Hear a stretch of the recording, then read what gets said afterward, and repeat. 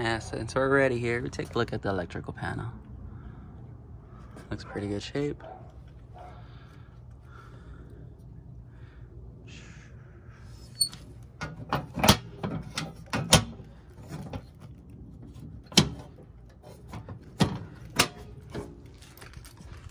The garage needed, I mean, the um, door here needed some work, but they fixed it.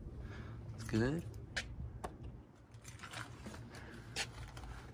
Let's take a look at the roof from the side.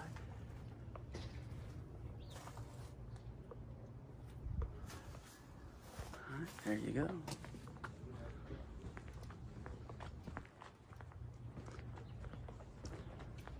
Looks good. No signs of water damage. It's a good sign. Stucco looks decent.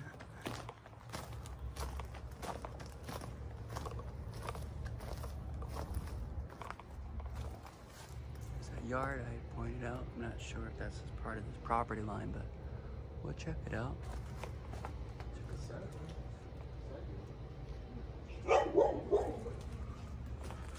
All right.